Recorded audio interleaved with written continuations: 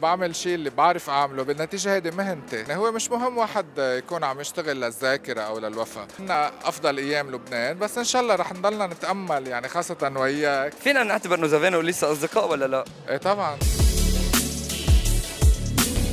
الإعلامي زافين أهلا وسهلا فيك معنا على السريع.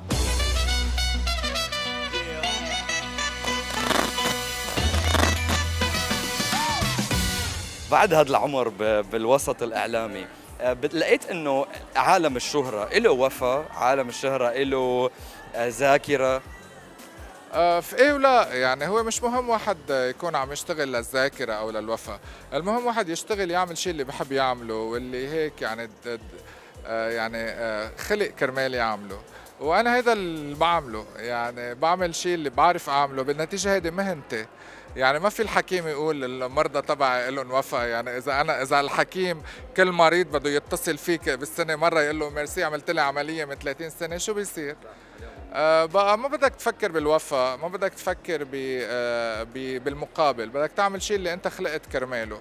وبدك تكون سعيد. وأهم شيء الواحد يعمل القصص اللي بيكون سعيد فيها والقصص المقتنع فيها.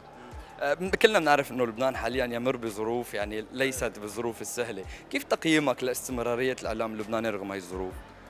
يعني هلا طبعا لبنان عم بيعاني آه، في آه، منا أفضل أيام لبنان بس إن شاء الله رح نضلنا نتأمل يعني خاصة وياك.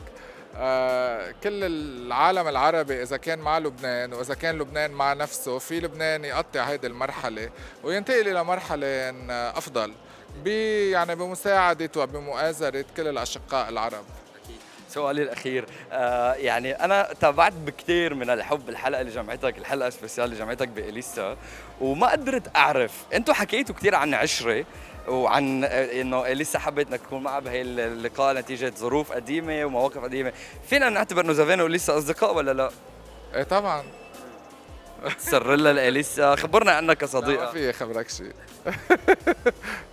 لا تعمل معي مقابلة تانية بنعمل مقابلة تانية عن إليسا وهلا هي موجودة هون ورانا عندها حفلة بالكازينو؟ هي وراغب علينا. آه آه، شو عم تحضرنا حاليا؟ شو بيصير تخبرنا عنه آه، حاليا هلأ رجعت عندي برنامج عم يتقدم على عدد من الأقنية اللبنانية إن الله راد يعني ينال استحسان الجمهور. وعندي غنية جديدة رح نزلها.